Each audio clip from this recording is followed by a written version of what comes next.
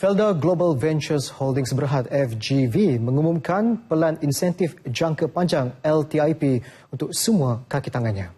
Melalui pelan ini, FGV akan membeli 10% saham biasa yang telah diterbitkan dalam tempoh 10 tahun untuk menghargai kaki tangan yang layak dan memenuhi kriteria yang ditetapkan.